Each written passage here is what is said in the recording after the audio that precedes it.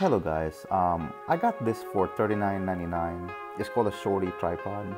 I actually had it for a month, but I had to return it back. The reason why it was just not fitting my needs because it's very slippery and every time I put it down the table or I can just like lay down and do my GoPro I use it on my phone, it just slipped my device down.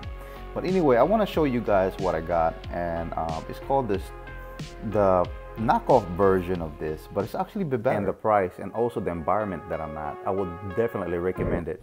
Tripod, the shorty tripod can handle the extreme environment. Ready kid? So if you have this little tripod, it won't tilt over. See? You can see the wind and the sand is blowing like crazy. And you can see it, look, I'm living and then if you freak out if you're not too sure you can make it short. It's just more like kind of like aerodynamic. And like i said i still like using this tripod uh, mount. So if you guys interested i'm gonna go ahead and pull down the link. The reason why i'm i'm actually saying reviewing but i'm also showing it to you guys because this actually works good. And compared to uh compared to the um, GoPro Shorty, this is actually better because you have a grip and you also have a bottom grip. So your your um your GoPro or your Osmo pockets will not slide. See that's in position.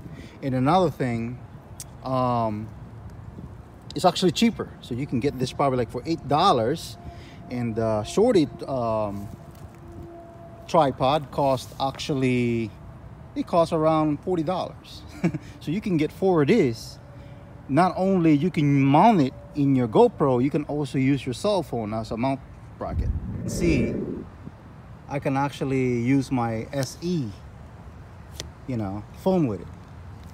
And cool thing I can see you know I can mount it like that or I can make it or I can make it short if I wanted to.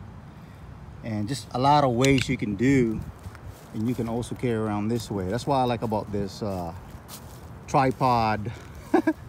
Um, a copy of a shorty tripod but actually better. This is what I want to see. I want to see company that makes something like this cheaper and better. But anyway that's it.